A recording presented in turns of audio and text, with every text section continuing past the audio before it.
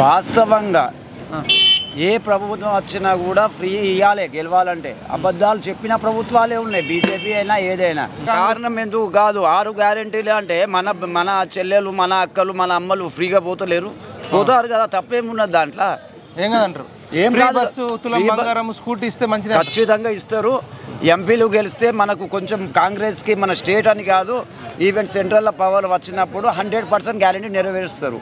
Right right all the best mister Congress MP గారు nominated ఎంపీస్కి. All the best sir మీరు చెప్పండి sir Lok Sabha ఎన్నికలు ఉన్నాయి. ఈ ఇక్కడ సికింద్రాబాద్లో ఏ పార్టీకి అవకాశం ఉంది? కాంగ్రెస్. కాంగ్రెస్. ఇప్పుడు దాన నాగేందర్ ఓకేనా? నో అన్ని పార్టీలు మారుతున్నాడు. మరి ఆయనకే టికెట్ ఇస్తామనే ఏమో చూద్దాం. క్యాండిడేట్స్ మంచి క్యాండిడేట్ ఉంటే గెలుస్తారండి. కాంగ్రెస్ అయినా కూడా మంచి క్యాండిడేట్ ఉంటే గెలుస్తారు. తెలియదు చెప్పలేనండి. చెప్పలేను ఎందుకంటే ఆయన పార్టీ మారాడు. మొన్న ఎందుకు మారాలి? ఎందుకు మారాలి? ప్రజాసేవ చేయాలంటే ఏ పార్టీలో ఉండైనా చేయొచ్చు. పార్టీలు మారే మారే అవసరం ఉంది. అంటే ఓడిపోలేదు గెలిచిండు కూడా. గెలిచింది కూడా కరెక్ట్. మీరు చెప్పేది కరెక్టే. గెలిచాడు. ఎమ్మెల్యేగా ఉండి సేవ చేయమనండి. ఎంపీగా ఉండి చేయాలా సేవ? లోకల్గా చేయాలంటే రెండు ఎమ్మెల్యే అట్లా? రెండు చేయొచ్చా? రెండు లేదు. ఎమ్మెల్యే రిజైన్ చేస్తాడు.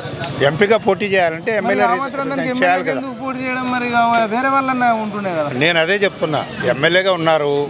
అక్కడ రిజైన్ చేసి రావాల్సిన అవసరం ఏముంది? ప్రజాసేవ చేయాలంటే ఎలాగైనా చేయొచ్చు. దానవ నాగేందర్ చాలా ఫేమస్ పర్సన్. పార్టీలు ఎందుకు మారాలి? ఒకే పార్టీలో ఉండు. ప్రజాసేవ చేయి. ఏ పార్టీలో ఉండైనా ప్రజాసేవ చేయొచ్చు. మారటం తప్పు. అంతకుముందు కాంగ్రెస్ తరఫున పోటీ చేశారు కదా ఎమ్మెల్యేగా ఇక్కడ. అంజయ్ యాదవ్ ఆయన ఆయన చేయొచ్చు ఎంపీగా. ఆయనకు మంచి పేరు ఉంది. Last time Anjan Kumar Yadav. Anjan Kumar Yadav గారు అసెంబ్లీకి పోటీ చేశారు ఓడిపోయినారు.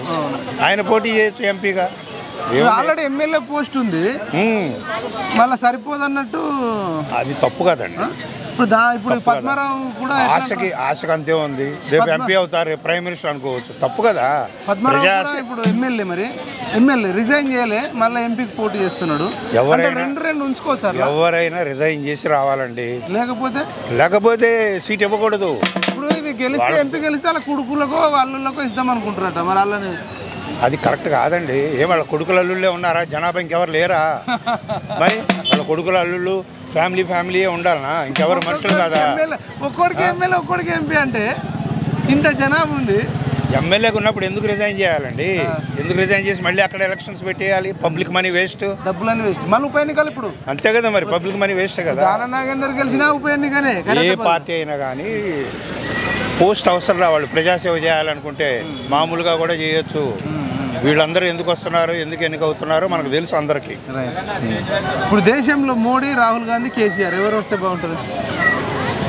దేశంలో కేసీఆర్ గారు దేశంకి ఎక్కడ పోతాడండి? ఈజ్ అ లోకల్ లీడరే ఆయన బీఆర్ఎస్ అని పెట్టడమే తప్పు పొరపాటు అప్పుడు. బీఆర్ఎస్ అని పెట్టారు కరెక్టే. ఆంధ్రాలో గొడవలు అవుతుంటే మాకెందుకు అన్నాడు మళ్ళీ కేటీఆర్. మరేంటి మరి?